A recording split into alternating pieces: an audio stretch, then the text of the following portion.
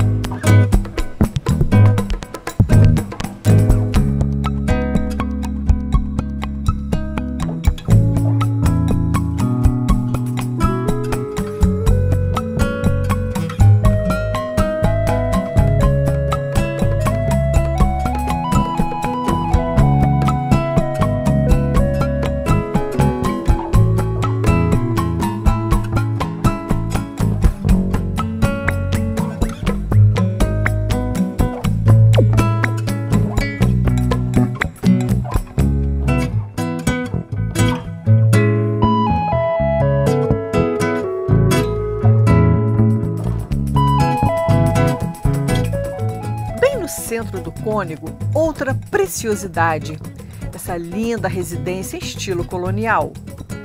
Muitos imaginam que essa residência é a casa sede da Fazenda do Cônego, mas não é. A casa de vivenda da outrora Fazenda do Cônego era de pau a pique e muito mais modesta.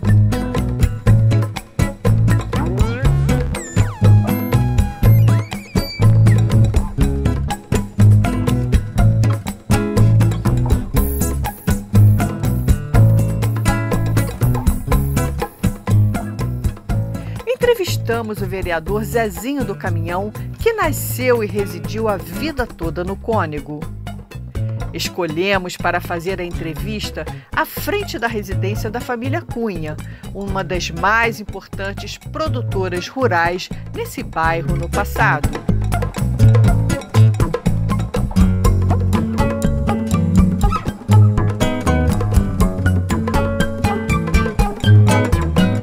Zezinho, é, os seus avós paterno e maternos vieram do centro-norte fluminense, né? Você me falou região de Macuco e Duas Barras.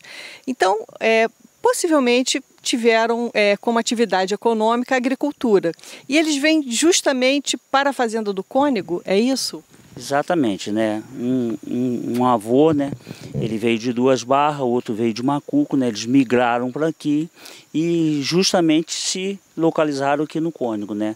E aí começaram novamente nas suas atividades, né? De sobrevivência, que é a agricultura. E o que que eles plantavam? É basicamente flores, né? né? Eles começaram aqui, talvez a população né, é, não, não tenha ouvido, ou poucos conheçam aquela flor chamada saudade e palmas. Né? E tinha alguma coisa de egípcio também, mas era, ele se baseava justamente nessas duas é, plantas, né? palmas e saudades. E eles compraram um sítio aqui ou trabalhavam para alguém como meeiro? Você sabe dessa história? É, na verdade, né, é, com a família com pouco poder aquisitivo, então eles trabalhavam né, justamente com isso que você colocou, meieiros. Né, e eles é, arrendavam os terrenos né, para poder trabalhar.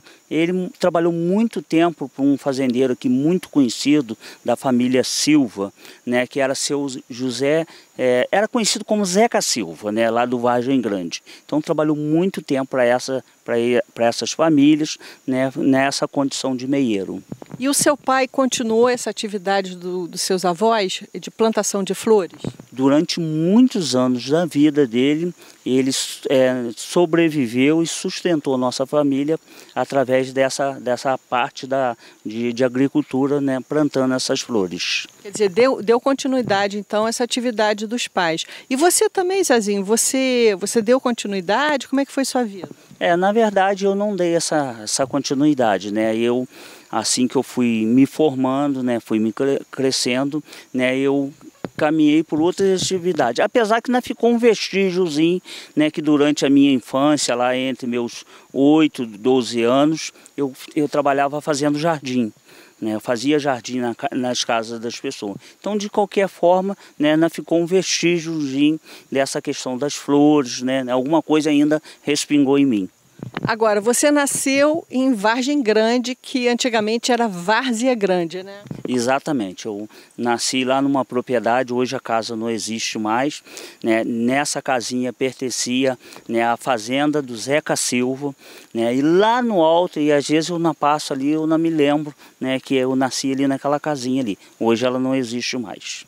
Você não é tão, tão velho assim, você está com 55 anos, mas você se lembra de uma, um cônego ainda com características rurais? Lembro, lembro sim porque é, na minha infância né, eu andava muito nessas plantações do, do que meu pai né, praticava. É, eu gostava muito, porque a, a, planta saudade ela dava muitas folhinhas. E aí o, que o tico-tico, né, o coleirinho fazia ninhos né, né, nesses pés de planta. E eu gostava muito de andar ali procurando né, esse, esses ninhos. Né. Então eu lembro muito ainda, eu lembro que aqui no sítio São Luís, teve um período que nós moramos no sítio São Luís e meu pai fez uma grande plantação de palmas. Então eu lembro dessa, dessa época. A gente até tinha foto, hoje eu não me lembro se eu tenho tem isso mais guardado. Então era assim era muito bonito, né? E eu lembro dessa, dessas raízes. Agora Zezinho, o bairro do Cônego, aí no caso a fazenda do Cônego, ela tinha suas fami as famílias tradicionais, né? Quais eram as famílias aqui é, muito conhecidas, é, grandes proprietários de terras aqui nessa região? É a família Cunha, que inclusive a gente está aqui diante de um imóvel, né, de um patrimônio dessa família, que representa bem isso. Né? Então, família Cunha, família Silva, né, que é da fazenda Zeca Silva, né, a família Froté, a própria família Barroso contribuiu muito né, para que o bairro se tornasse o que, se, né, que é hoje, né, que ele representa a importância para a nossa cidade. Agora, a gente percebe também que o você citou Froté, né? São suíços.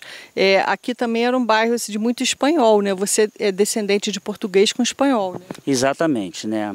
A minha mãe é de família portuguesa e, e a, o meu pai de família espanhol, né? Então era assim, era, havia muita é, mistura dessa, dessas famílias, né? Então diversificava muitos né, esses países, né? Que, que é, na verdade, se você for analisar, foi os países que ajudaram é, essas pessoas que migraram para a cidade, que ajudaram né, fazer hoje né, Friburgo, que representa aí dentro do estado do Rio de Janeiro. Onde você nasceu, em Várzea Grande, a gente esteve até lá e a gente viu que ali era uma passagem dos tropeiros que vinham do terceiro distrito. Você tem histórias assim do seu pai, do seu avô, sobre esse caminho de tropas, sobre os tropeiros que passavam por ali? É, na verdade, eu não tenho muita informação, porque eu tive, eu tive a infelicidade de perder meu pai muito cedo. Meu pai, ele faleceu com 42 anos e eu na época tinha apenas 14 anos, né? Então assim, eu convivi pouco com meu pai. Quando eu comecei a tomar a conhecimento, né, na minha adolescência, né, do que era a vida, né, é, foi exatamente a hora que eu perdi o vínculo com meu pai, né, por uma fatalidade de doença, e então eu não tenho assim muita informação, né, da, assim do meu contato com meu pai, né, eu ainda tenho a imagem dele, mas infelizmente eu não tive esse essa, esse prazer de conviver muitos anos com, com ele.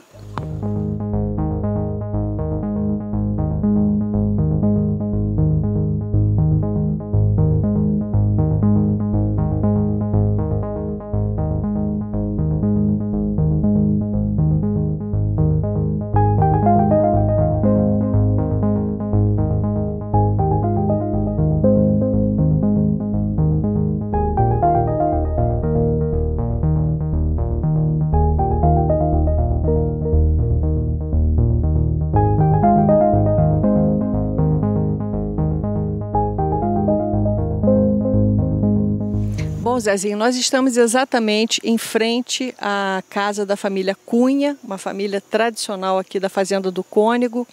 Qual era, qual a importância dessa família aqui nesse bairro? É, eles foram muito importantes porque eles contribuíram para o início do bairro, né?